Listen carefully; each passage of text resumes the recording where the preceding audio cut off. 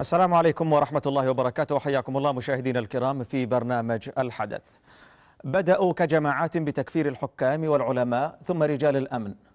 بعد ذلك تطوروا إلى تكفير المجتمع بأكمله لدرجة أن أحدهم وصل به القول إلى أنه لا يوجد مسلم على وجه المعمورة سواه. هذه الجماعات المتطرفة التي أنهكت العالم وسلت, رقا وسلت سيوفها وخناجرها على رقاب المسلمين. تدعي الإسلام وشوهت صورة الإسلام والمسلمين.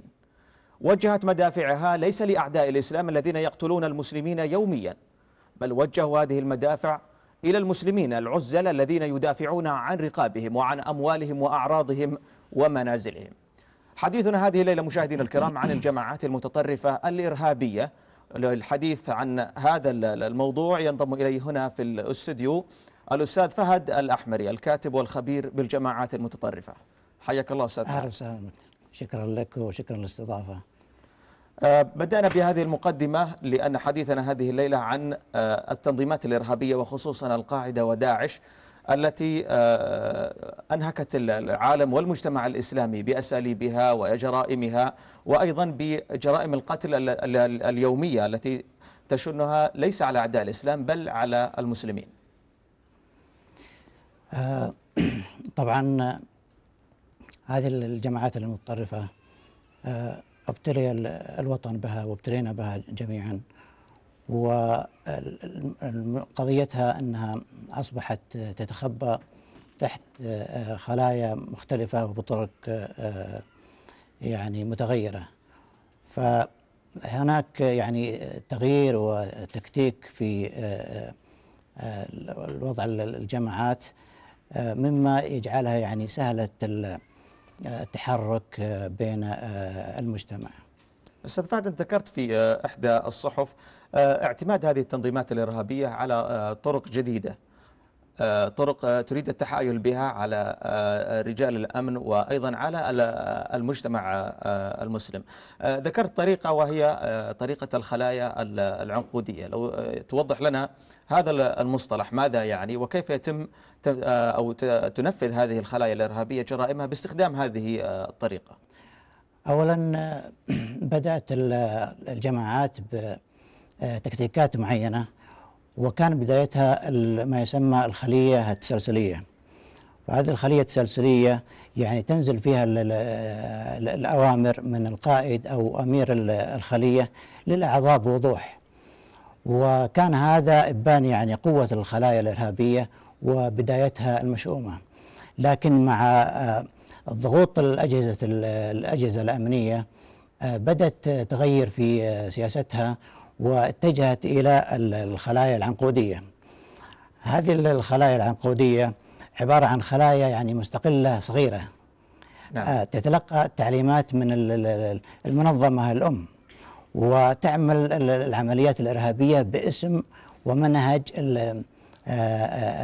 المنظمة الأم. تتكون الخلية العنقودية من أمير الخلية وله الطاعة العمياء في كل ما يقوله. و ثم إنه بسبب أيضا تواصل الضغوط الأمنية والمجتمعية وقتل واعتقال كثير من الكوادر العاملة في هذه الخلية تحولت أيضا إلى خلية أخرى بمسمى آخر قد نتطرق له.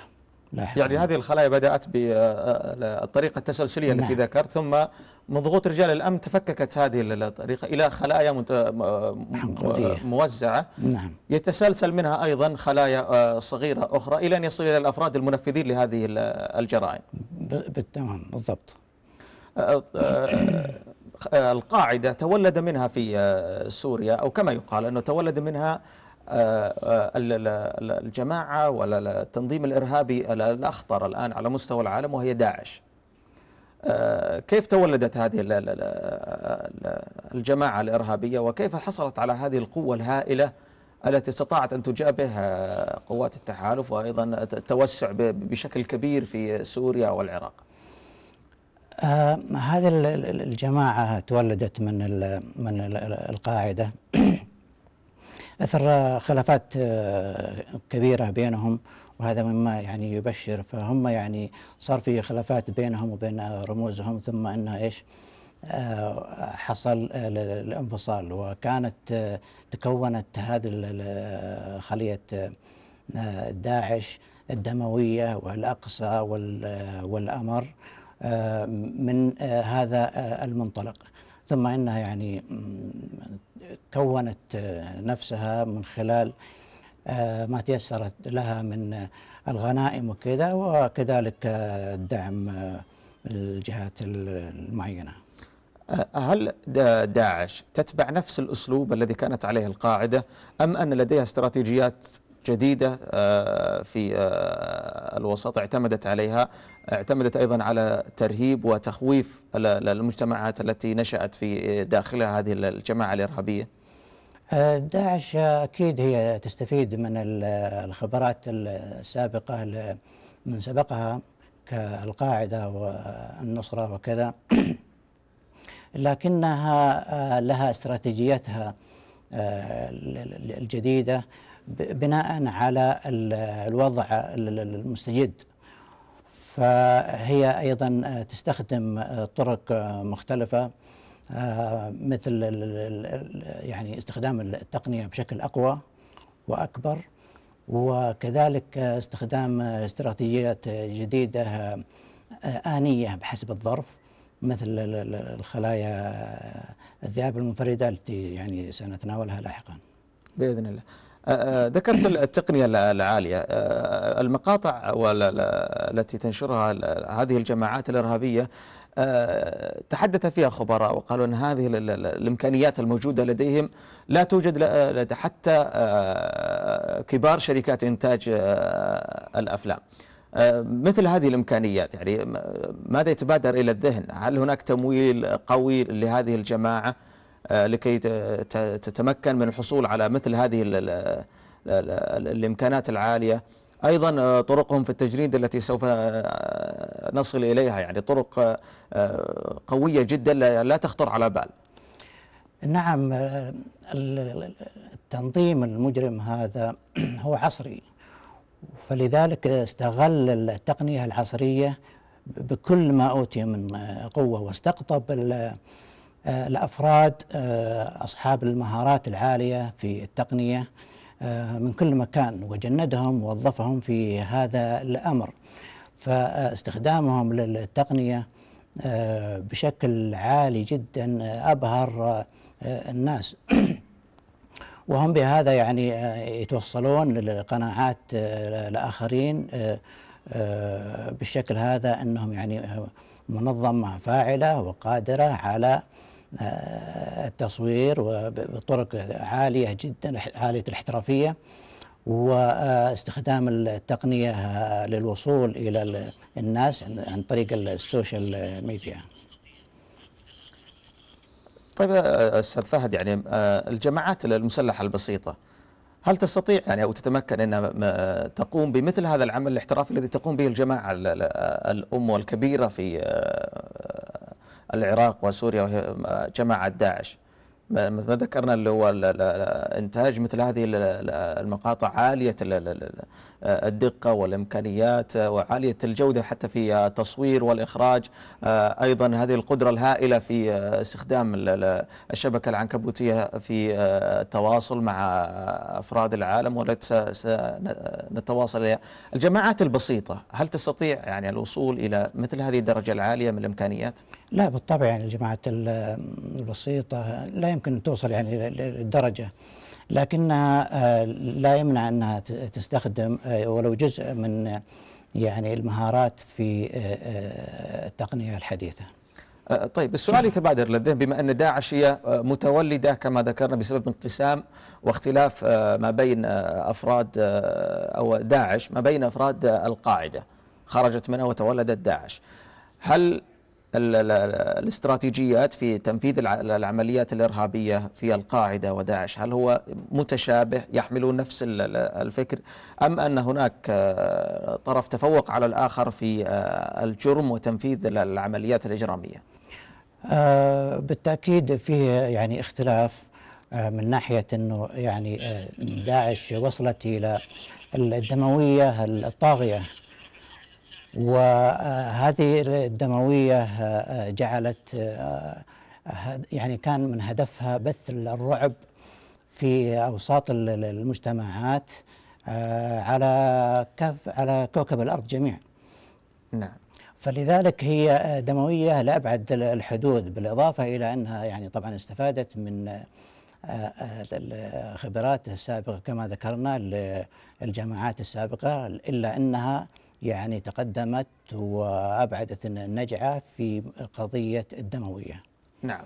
أستاذ فهد دعني أستاذنك واستاذن أيضا الإخوة المشاهدين ينضم إلينا عبر الاتصال الهاتفي الدكتور هاني الغامدي المحلل النفسي والمختص في الدراسات الأسرية والمجتمعية. حياك الله دكتور هاني. أهلا وسهلا بك يا سيدي وبضيفك الكريم وبكل المشاهدين ومشاهدات الكرام. حياك الله. حديثنا هذه الليلة عن الجماعات المتطرفة وبالأخص جماعة أو التنظيم الإرهابي داعش. سؤالي لك هل يوجد سمات شخصية أو نفسية يتشابه فيها المغرر بهم في العمليات الإرهابية؟ عظيم جدا طيب بسم الله والصلاة والسلام على رسول الله. أخي الحبيب أنا أؤكد بوجهة نظري الشخصية. واللي إن شاء الله إنها بإذن الله وجهة النظر اللي لا أعتد بأنها اللي ما في بعدها على قولتهم لكنها هي جزء من ما يجب أن يحلله كل ذي لب. أنا على يقين تام بأن من يتأثر بهذا الفكر هو شخص خاوي خاوي العقل نعم. خاوي الفكر هو ليس شخص يوجد لديه فكر ليحصل له أمر بديل إنما هو شخص خاوي للفكر فبالتالي نعتبر إن هذا المخ هذا العقل هذا الفكر مثل مثل كاس خاوي كاس فاضي. نعم. إذا وضعت فيه لبن ماء أو وضعت فيه خمر. إذا كان هذا الأمر واضح بالنسبة لمن يعني تتعامل معه فهو إما إنسان جيد وإما إنسان سيء. صاحب فكر سيء لأن عقله مليء بالخمر لو جاز التعبير. والآخر الكاس اللي هو إحنا مثلناه بهذا العقل أو هذا المخ هو مليء بالماء أو بالخيرات. هؤلاء ليس في مخهم ليس في مخيلتهم ليس في فكرهم لا ماء ولا خمر. هو عقل خاوي فملئ أعطت لهم الفرصة لو جاز التعبير أو تم اصطيادهم ليوجد أو يوضع في داخل هذا العقل الخاوي هكذا أفكار. لو نلاحظ إن الأمر دائما يتم في سن صغيره نعم صحيح. أحبائي الآن بكل بساطة لو جاني شخص عشان يدعوني إلى جلسة خمر على سبيل المثال سأناهضه سأرفض لأنه لدي مقومات ولدي قاعدة واضحة من الأمن النفسي والاعتداد بالرأي واستصدار القرار الصحيح فبالتالي لن يؤثر علي إلا إذا لي رغبة في هذا الجانب. لكن هؤلاء لو نلاحظ هم ليس لديهم أي فكر فبالتالي ملئوا بهذا الفكر الفاشل وبكل اسف. لذلك لو وجهنا الطاقات فإننا نتأكد من أن أقل ما فيها في مثل هذه السن لديهم فكر موجود في داخل مخيلتهم بداخل عقلهم مملوء بالخير مملوء بما هو عليه الأمر وأن لا يتركوا بحيث انه ممكن أن يتم اصطيادهم ويملؤوا بما ليس فيه خير لهذه الأمة أو حتى على مستوى أنفسهم. نعم دكتور هاني يعني أنت ذكرت أنه من ينضم أو يغرر به إلى مثل هذه الجماعات يكون فكره خالي أو خاويا. كيف يمكن يعني توجيه طاقات الشباب؟ يعني نتحدث عن صغار السن.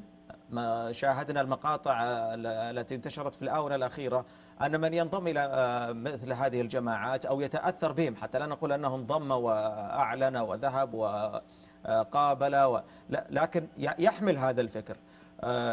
تصل به الدرجة إلى أن يقتل مثلا ابن عمه أو يقتل والده. كيف يصل بهم الحال إلى مثل هذا الفكر الذي يجعلك تقدم على أشياء لا يتخيلها العقل؟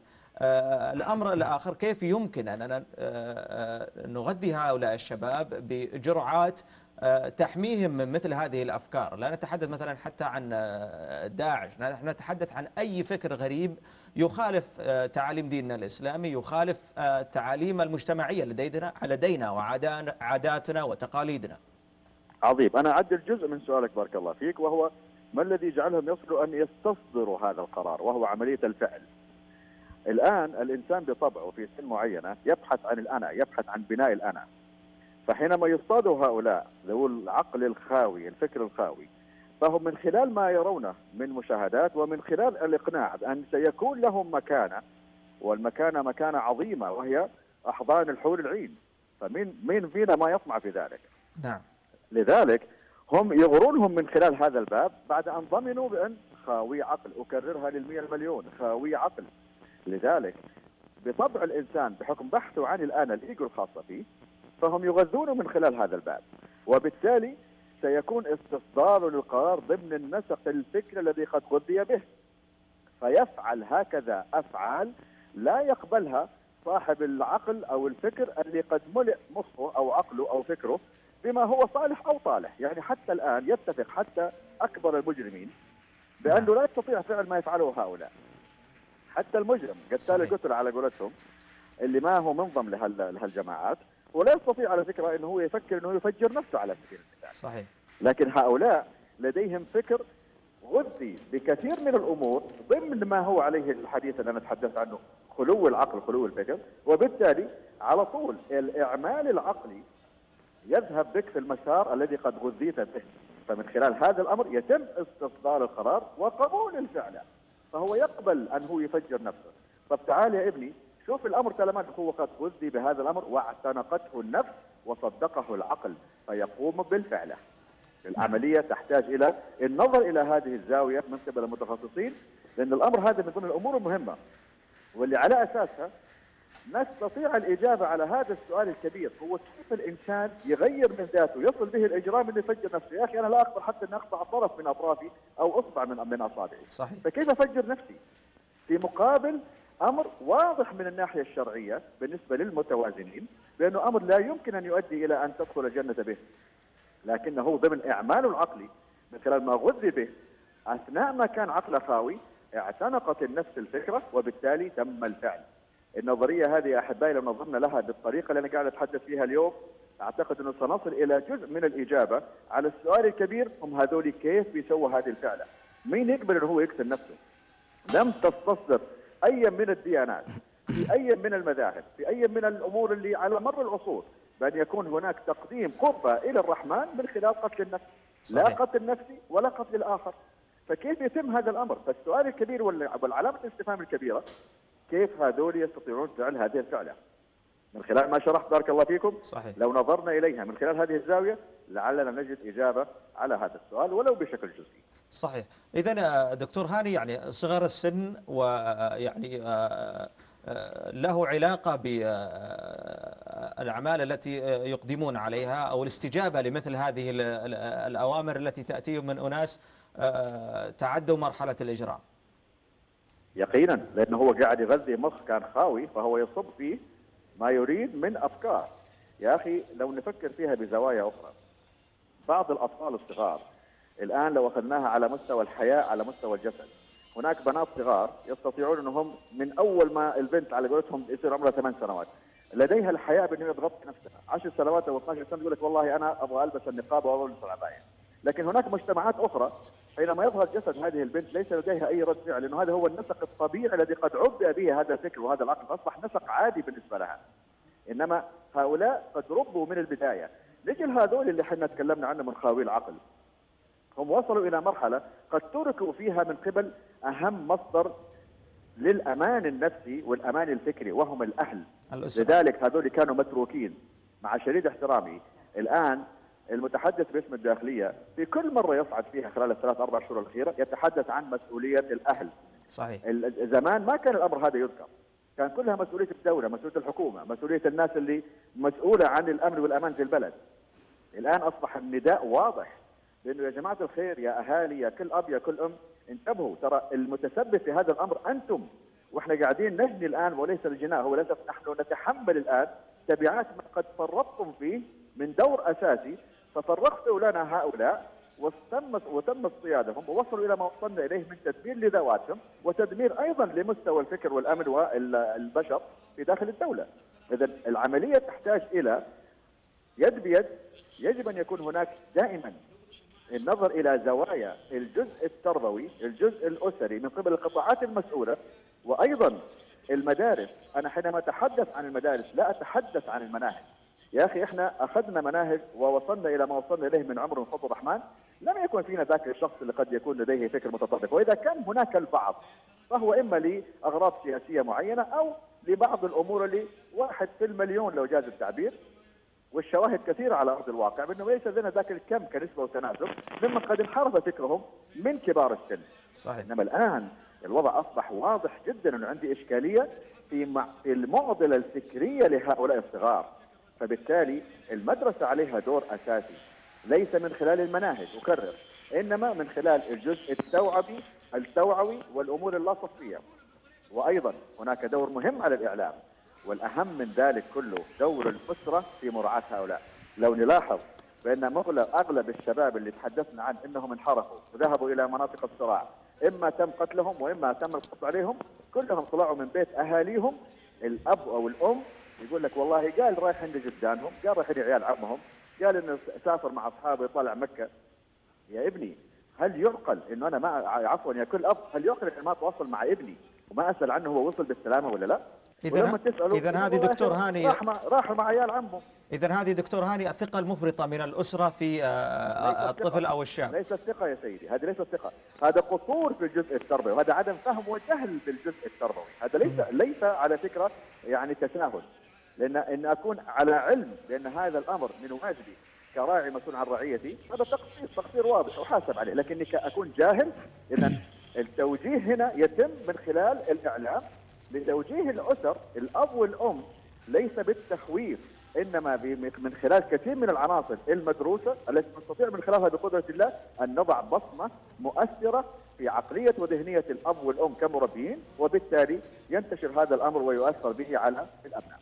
طيب دكتور هاني يعني هل هناك مؤشرات آه، آه، قد يستطيع الوالد أو الوالدة آه، اكتشاف انحراف ابنهم أو بداية انحراف ابنهم كمثلا سلوكيات ال- ال- الشاب أو طريقة حواره أو كلامه أو تعاطيه مع الوالد والوالدة والإخوة والأخوات بالله عليك إذا كان الأب والأم مفلسين فما هم دارين عيالهم وين؟ حيكون عنده ذاك الذهنية اللي يستطيع إنه هو يحلل تصرفات هذا الابن أعتقد واحد زائد واحد يساوي اثنين. إنما عموما لو قلنا إنه أحدهم من أحد الأسر خرج وله سمات معينة، من ضمن السمات البسيطة اللي ممكن والله يعول عليها الانعزالية، الوجود لوحدة بشكل بشكل مباشر، بحيث إن لساعات طويلة هذا الشخص مختفي ولو إنه ما أبغى بس أنا أحط هذا الأمر كعنصر أساس عشان ما يتشكك كل من هو لديه ابن موجود في غرفة لحاله ولا قاعد بيتواصل مع الإنترنت معناته والله بيتحول ابني إلى إرهابي. لأن صحيح هناك أيضا أمور أخرى تحدد هذا التصرف من قبل بعض المراهقين. نعم عشان بس ما ما نشكك في هذا الجانب، لكن يجب أن نتنبه بأن الابن لا يجب أن يترك وحتى الابنة لا يجب أن يتركوا الأبناء البنات والأولاد بطريقة كده منفلتة وأنا ما أعرف عنهم وين. على المستوى السلوكي فيما يخص الأمور والخط الشرعي فيما يخص الحلال والحرام وتصرفاتهم في حياتهم الطبيعية وأيضا على المستوى ال ال الأمني والفكري وبالتالي هو هو دور أساسي على الأب والأم يجب أن نتنبه ان يقوم هؤلاء بدورهم. بارك الله فيهم لأن الأمر على فكرة أصبح واضح بأن الأساس في هذا أو ما ما نشوفه اليوم على أرض الواقع إلا ما يكون سببه الجزئية الخاصة. لذلك كان في كان في حديث في احد القنوات قبل كم يوم وأعتقد أن فهمت الرسالة خطأ. نعم. حينما ناديت بأن يكون هناك ليس عقوبة إنما وضع مسؤولية على الأهل حينما يخرج من بينهم ابن منحرف الفكر.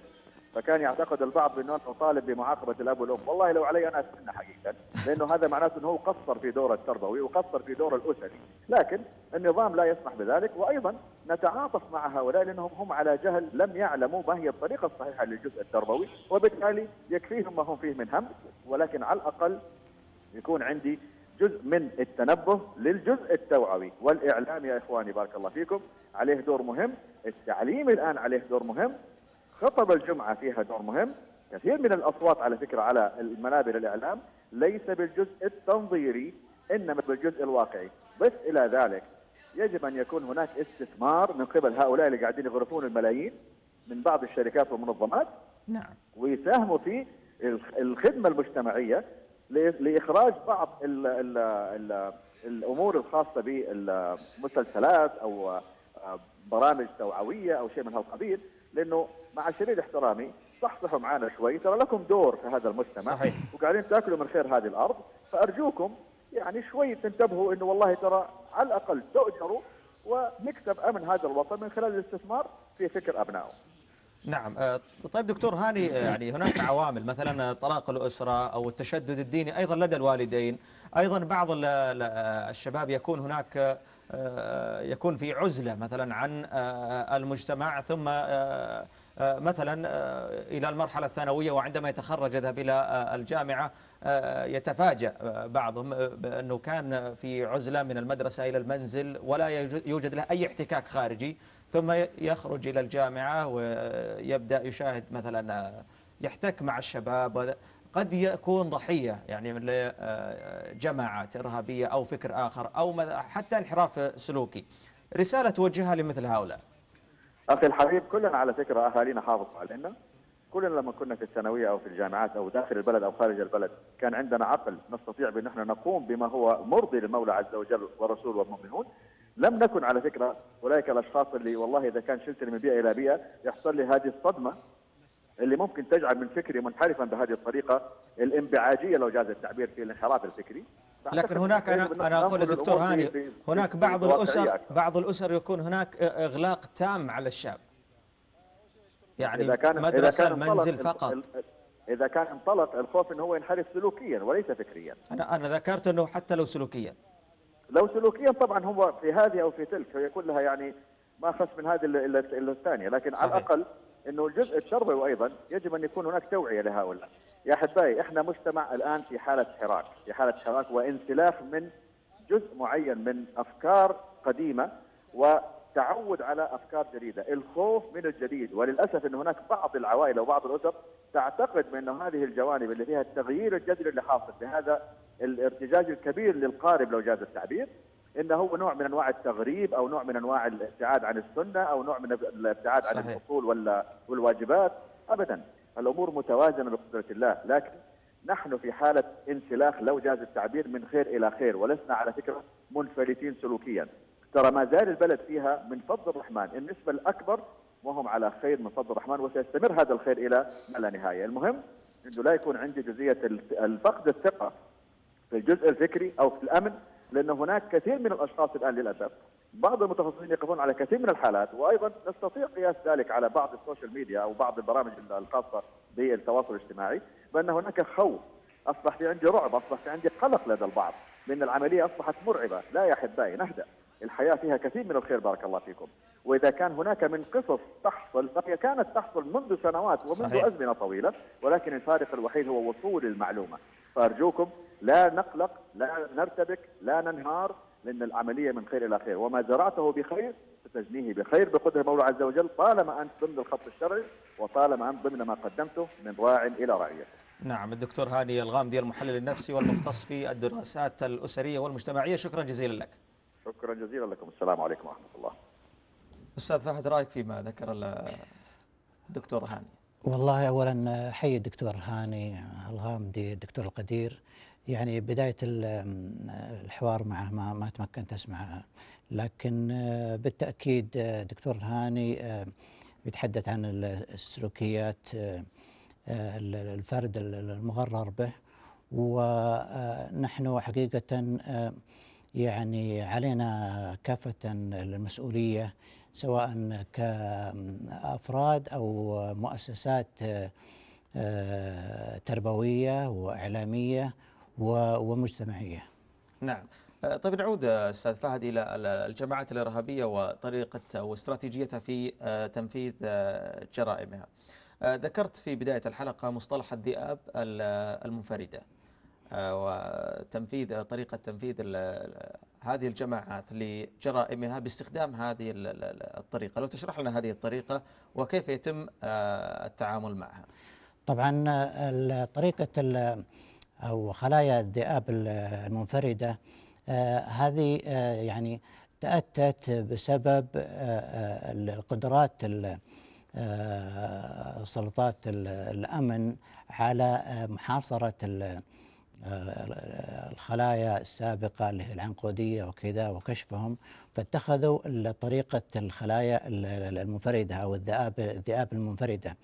طبعا تعريف الذئاب المنفردة هي بمعنى إنه شخص يعني أو أو مجموعة صغيرة لا تتجاوز آه، ثلاثة أشخاص كحد أقصى تقوم بعمل إرهابي موجه يعني ل- ل- ل- لجهة معينة ومن قبل فكر آه، معين.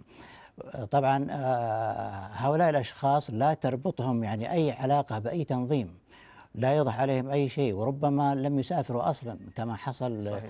في الحالات السابقة وكذلك يعني لم يسبق عليهم سجل عدواني. فلذلك يعني هم آه، آه، آه، مختلفين تماما وغير ظاهرين وغير معروفين. الذئاب المنفردة هذه يعني لا ترتبط بالفعل بالجماعة بأي جماعة. يعني لا يوجد لهم أي تواصل خارجي أو داخلي لكي ينفذوا مثلا هذه العملية الإجرامية التي يخططون لها؟ لا يعني في الغالب أنه لا, لا, لا يكون في تواصل آه، آه، في الخارج. آه، إنما هم يعني يستفيدون من ال- القراءات ومن كذا في وسائل ال- التواصل. لكنهم يحملون الفكر نفسه ويتبنون يعني التوجهات ال- المنظمة أو ال- الجماعة ال- الإرهابية. ويعني ربما يكون للتو تأثروا بهم. يعني يعني ممكن حديث التأثر وذلك ولذلك يعني انطلق. أما بالإضافة إلى آه، يعني شباب وكذا وللتو قرأ وتأثر بهم. من يعني الأهداف الجماعة في استراتيجية الذئاب المنفردة هذه يعني الوصول لهؤلاء المتعاطفين. الوصول لهؤلاء المتعاطفين المناصرين لهم في أماكنهم يعني بدل من استقطابهم آه، في آه، أماكن الصراعات يصلون إليهم في بيوتهم في أماكنهم ومن أجل يعني ينفذون مخططاتهم وهم في أماكنهم مع قلة إمكانياتهم وكذا فيوصلون إليهم وينفذون يعني مثل ما يقول بال بال بالمصطلح الرياضي وهم على أرضهم وبين جمهورهم. نعم طيب. من, من أين أتت فكرة هذه الذئاب المنفردة؟ قد يسأل البعض يقول- آه، أن تذكر هذا المصطلح لكن لا يعلم من أين من أين أتت هذه الفكرة؟ آه، هي أكيد بال- بالتجارب آه، بتجاربهم بسبب إنه يعني كما ذكرنا اولا كان في ال- الخلايا التسلسلية فكانت يعني الأوامر ت- تصدر من ال- الجهات ال- العليا للكوادر العاملة في كذا ولكن يعني صار عليها ضغوط أمنية. يعني هذه من تضييق الخناق من على نعم. الجماعات ال- ال- المتسلسلة. وصلوا إلى أنه آه، دعوة من جماعات منفردة وفي أماكنهم بدون آه، يعني إرسال أمر أو تواصل أو ترابط آه، فيما بينهم. أي نعم أكيد لأنه هذا بسبب طبعا آه، قوة الدولة وقوة الأجهزة الأمنية آه، في في الدولة هنا وكذلك في في الدول ال- الأخرى التي استفادت يعني من تجارب المملكة في التصدي للارهاب. طيب ذكرت أستاذ فهد إن هناك أربع خصائص للمنتمين إلى مثل آه، أو ل آه، دعنا نطلق عليه تكتيك الذئاب ال- المنفردة. آه، أربع خصائص يعني آه، يتميزون آه، بها جعلت هناك صعوبة في مثلا في كشف آه، أمرهم، لو تذكرنا هذه ال- أي الخصائص نعم. الأربع. نعم هذا في أحد التقارير الصحفية يعني آه، ذكرنا إنه هناك آه، أربع خصائص أو تكون قد تكون أكثر يعني منها يعني عنصر المفاجأة في تنفيذ ال- ال- العمليات ولأنه ما في أي سابق مؤشر آه، لل- للجهة هذه أو الأفراد ال- هؤلاء وكذلك هو عدم الارتباط الفعلي والمباشر مع التنظيم ما عندهم يعني ارتباط مباشر أو واضح مع التنظيم بشكل آه، آه، مكشوف ثم إنه يعني ال- الحالة الثالثة إنه الحرية في تحديد ال- ال- الهدف واختيار الزمان والمكان آه، من أجل تنفيذ عملياتهم هذه. ال- ال- ال- ال- الخاصية ال- الأخرى اللي هي يعني تنوع السلاح فهم يعني يتعاطون مع العمليات بالسلاح المتوفر آه، لديهم على بساطته وقلة يعني الإمكانية يستخدمون آه، آه، ما حصل من مسدس لو سكين أي شيء إنه إيش ينفذ أهدافهم هذه بطرق بسيطة. يعني في بعض ال- الحالات التي أوضحتها وزارة الداخلية من خلال المؤتمرات ال- التي تقدمها من وقت إلى آخر عن كشف عمليات إرهابية وكذا.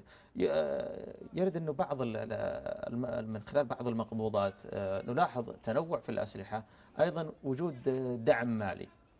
هل نستطيع أن ن- نذكر إنه مثل هذه ال- ال- الضبطية أو هذه ال- الجماعة ينتمون إلى مثلا الذئاب ال- المنفردة التي ذكرنا؟ وأنه كما ذكرت إنه لا يوجد لديهم دعم وباسلحه بسيطة. هل هناك ترابط بين ال- ال- الحالتين؟ آه، بالطبع يعني فيه ترابط من ناحية أنه يعني آه، آه، آه، الشخصيات هذه أو ال- ال- الأشخاص المنفذين للعملية قد يستفيدون من خدمات تقدمها لهم يعني جهات معينة وكذا وفي حالة عدم يعني استفادتهم فهم يعني ينفذون عملياتهم بطريقتهم يعني بما يتوفر لديهم بما باي بما شيء. نعم بما يتوفر يعني لديهم جميل. من أي شيء. ولكن يعني في تكتيك الذئاب المنفردة فيها ملمح آه، ملمح إيجابي يعني كونه يدل على فشل الجماعات آه، آه، من بسبب يعني فشلها في خططها وكذا. ولذلك هم وصلوا إلى يعني شغلات منفردة وأنه ال- الأعمال الجماعية ما ما أصبحت مجدية. بسبب يعني يقظة ال- الأجهزة الأمنية. نعم هل هناك مثلا آه، هؤلاء يحصلون على تدريب معين أو إنه آه، بطرق عشوائية؟ يظهر على ال- ال- الغالب إنه آه، بطرق عشوائية ليس فيها هنا- هناك تدريب لأنهم متواجدين في أماكنهم لكنه يستفيدون من ال- القراءات في وسائل التواصل وكذا يعني يستفيدون من التجارب ال- المطروحة لهم على وسائل مثلا ال- الإنترنت أو نعم نعم. يستفيدون من التجارب هذه في الشبكات الاجتماعية نعم. آه الكثيرة. وبالمناسبة يعني آه آه تسمية ال- الخلايا هذه بال- بالذئاب المنفردة هذا فيه يعني اعتراف ضمني من جهتهم إن يعني هؤلاء ليسوا بشر. هؤلاء وحوش يعني وحوش ضارية. فهم آه، ذئاب آه، نسبة إلى ال- ال- الوحشية. وحشيتهم. نعم ووحشيتهم و- ويعني آه، حبهم للدماء وامتصاص الدماء. نعم. اذا أستاذ فهد دعني واياك والمشاهدين آه، نتابع هذا التقرير المعد من قبل الزملاء ثم نعود لاستكمال بقية هذه الحلقة.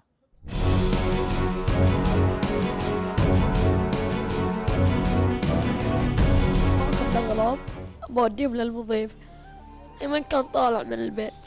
سلمت عليه. قلت له جمع عنا المضيف اللي يقول الله وياكم. بدموع مليئة بألم الفراق ووجع الرحيل يتحدث الطفل محمد عن أخيه الأكبر الشهيد أيمن العجمي الذي استشهد في الحادث الإرهابي الآثم بمنطقة سيهات. هو أخي يخاف على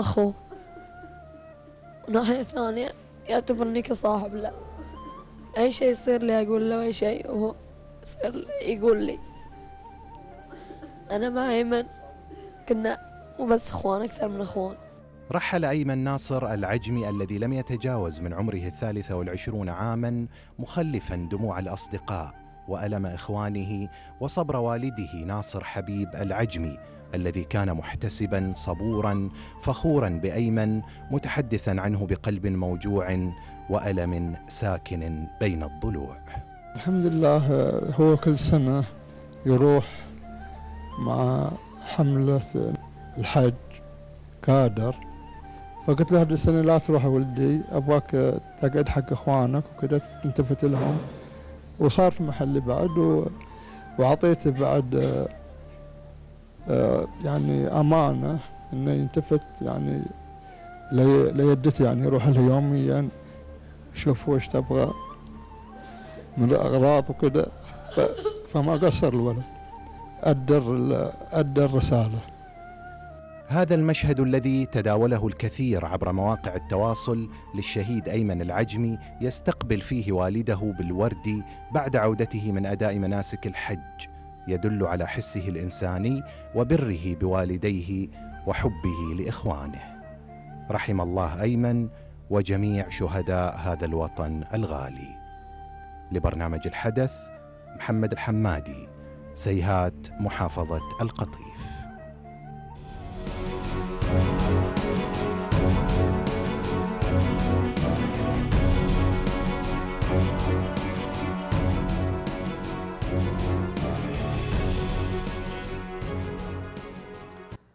كان هذا تقرير آه، وبصراحة أنه تقرير مؤلم لأحد آه، آه، الضحايا الذين سقطوا في الحادثة الأخيرة التي حدثت في سيهات وهي يعني إحدى الحوادث التي تستهدف هذا الوطن وليس يعني أنه فئة معينة أو طائفة معينة. فنحن شاهدنا في سيهات في القط... في الرياض في الشمال في الجنوب وحتى رجال رجال الأمن. الجميع مستهدف من هذه الجهات أو المنظمات الإرهابية الدموية التي كما ذكرت في بداية الحلقة ترى بأن الجميع هو كافر ويجب قتله. أستاذ فهد لو تحدثنا عن ما ورد في هذه في هذا التقرير. حقيقة ما ورد في هذا التقرير شيء مؤسف ومؤلم أنه يعني وصل إلى درجة الوصول إلى الأبرياء في أماكنهم في آه، آه، سواء في آه، أعمالهم أو في أماكن العبادة. ومن المعلوم جدا أنه هذه الجماعات لا ترى يعني لا ترى ولا ترعوي عن استهداف الجميع باختلاف آه، يعني الإيديولوجية واختلاف آه، الفكر. يعني هي لديها انه من خالفني في فكري فهو ضدي ويجب قتله. ويجب قتله مهما كان يعني. نعم. آه، طيب نعود إلى محور حديثنا أستاذ فهد. ذكرت أن هناك يعني سبع سمات شخصية. يمكن أن تكشف الانتماء لهذا الفكر الإرهابي. لو تحدثنا عن هذه السمات السبع. آه، من هذه السمات اولا التحول آه، المفاجئ. يعني في في في ايديولوجيه الشخص وطريقة آه، تفكيره والتعاطي مع الأمور والأشخاص. وثم أنه كذلك يعني تشدد الطارئ. فحصل له يعني تشدد طارئ واضح خاصة في قضية الحلال والحرام وخصوصا يعني في المسائل الخلافية. ثم أنه كذلك يعني تجد أنه عنده استغراق آه، آه، في آه، أوقات طويلة على الشبكات العنكبوتية يعني وسائل التواصل بطريقة لم تعهد من قبل فهذه يعني إيش؟ من من ضمن الأشياء اللي قد تكون يعني تلمح إلى إلى تأثر الشخص هذا وكذلك يعني إذا ظهر عليه مثلا عدم الاعتداد بأقوال كبار العلماء نعم. والانتقاص من يعني أقول كبار العلماء طبعا آه، وليس يعني الرموز آه، التويترية كبار العلماء يعني كبار العلماء وتجد أنه ينتقص من آه، فتاويهم ومن يعني أقوالهم مما ينبغي يعني بتأثير صاحب هذا يعني التوجه بنزعة الفكر الضال وكذلك يعني كما تطرق أيضا الدكتور هاني آه، عدم الاتزان النفسي يعني لدى صاحبه وتجد يعني عليه حالة واضحة يعني من عدم آه، الاستقرار والخلل في الشخصيه. يعني هل هناك يعني يظهر عليه مثلا عدوانية تجاه الوالدين تجاه الأخوان أو من هو قريب من مجتمعه؟ لا لا لا قد لا يظهر عليه هذا لكنه يعني تبدأ عليه علامات يعني الاختلال والتغير المفاجئ والتشدد الطارئ وكذا. يعني تغير في أسلوبه الذي كان يسير عليه في البداية. نعم, نعم. وبدل ما كان يعني اجتماعي تجده يعني مثلا أصبح يعني انزوائي وعلى شبكات التواصل وهذا طبيعي الإنسان على شبكات التواصل لكن يعني يجلس ينزوي ويغلق الباب على نفسه وكذا هذا فترات طويلة. أيوه فترات طويلة وهذا يعني مثلا غير ما كان معهود عليه. نعم. كذلك طبعا الميل للانعزاليه يعني بدل عن الأصدقاء وعن الأهل وكذا فهذه يعني من ضمن الملمح. آه, آه، نعم النقطة آه، المهمة والتي نحاول أن نركز عليها من بداية الحلقة وهي استقطاب هؤلاء الجماعات مثلا إلى صغار السن. لو تذكرنا ما هي الأساليب التي يمكن أن يصلون عن طريقها إلى صغار السن ومن ثم يستدرجونهم إلى التأثر بهذا الفكر الخطير المجرم الدموي الذي قد تكون آثاره وخيمة على الأسرة والمجتمع بشكل عام. طبعا هم يعني الوصول إلى صغار السن والأطفال آه هذا دليل جلي على آه ضعف الحجة وضحالة ال- ال- الفكر عندهم. فلذلك هم يتجهون للأطفال الصغار والأحداث آه، ويتجنبون آه، ال- ال- الكبار المدركين والعارفين بالأمور فلذلك الطفل يعني سهل آه، غوايته وسهل التأثير عليه آه، بينما ال- الكبير يتجنبونه بسبب يعني إدراكه وعدم قدرتهم على آه، غوائه نعم يعني كيف ممكن يصلون إلى صغار السن؟ يعني إحنا نعرف مثلا صغار السن مثلا موجودين في بيوتهم مثلا آه، كيف ممكن هذا الفكر يخترق كل هذا آه، إلى الوصول إلى الطفل مثلا في منزله؟ نعم هم يصلون للأطفال في منازلهم بسبب التقنية الآن التقنية بيد ال- الأطفال يعني صحيح. من آه، من الابتدائي المتوسط وكذا فبيد الطفل ال- ال iPad والجوال وكذلك ال- اللابتوب. فيعني يستغلون هذه بالإضافة كذلك إلى الألعاب. يعني الألعاب رأينا نعم الألعاب. المس- مسماه يعني عن طريق الألعاب الأونلاين عن نعم طريق الإنترنت. الأونلاين نعم وعلى ف, ف يعني يدخلون لهم من هذا ال- الجانب. كلمة توجهها للأسرة في في هذه النقطة بالذات اللي مثلا استخدام التقنية وترك التقنية بأيدي الأطفال دون حسيب أو رقيب. نعم ال ال ال الأسرة واجب عليها الاهتمام ومراقبة ال- الصغار في استخداماتهم. طبعا إحنا يعني لا يعني حرمان الصغار من هذه الأشياء لكن أيضا يكونون يشاهدون هذه الأشياء ويستخدمونها وهم بمعيتنا وبحضورنا ولا يكون يعني انعزال صحيح. آه، آه، انزوائية لهذا ال- ال- الحدث نعم طيب إذا كان مثلا يعني هذه وجود مثل هذه العقليات والتي آه، يمكن لها الوصول آه، يعني عقليات صغيرة آه، يمكن لهذه الجماعات الإرهابية الوصول إليها واختطافها إلى أماكن آه، الصراع أو إلى تنفيذ مخططاتهم لدينا هنا بالداخل. آه، كيف يمكن يعني أن نعمل آه، مثلا عمليات استباقية لمثل هذه الأحداث ونحد من خطرها أو نمنع وصول مثل هؤلاء إلى أطفالنا في المنازل أو إلى حتى الشباب في وسط المجتمع؟ طبعا يعني نشير إنه إنه يعني معرفه المتاثرين بهذا ال- الطريقة هم آه، فيها صعوبة بالغة جدا آه، من أجل تحديد ال- الشخص المتأثر فيه. لكن علينا أنه آه، فعلا نكثف الجهود من أجل آه، استقطاب است- العمليات الاستباقيه نعم. فمثلا علينا بالتكثيف ال- التكثيف الإعلامي. التكثيف الإعلامي من ناحية التوعية سواء في القنوات التلفزيونية سواء في ال- ال- الإذاعات وكذلك الخطب والمنبرية وأيضا آه، في الصحف ويعني آه، في المنزل. فالتكثيف الإعلامي والتوعية آه، ضروريه جدا آه، في هذا الشأن. وكذلك يعني استخدام نفس أسلوبهم يعني أسلوب ال- المضاد من حيث التوجه للأطفال في جانب التقنية في كذا ويعني نوعيهم بخطوره ال- هذه الجماعات وعدم التأثر بهم. وبالإضافة أيضا لتوفير توفير وسائل الترفيه يعني الحد من فراغات الشباب وكذلك يعني توفير ال- العمل على توفير الوظائف. يعني هذه هذه رسالة منك إلى ال- الجهات ال- مثلا نقول ال- القطاع الخاص مثلا المشاركة في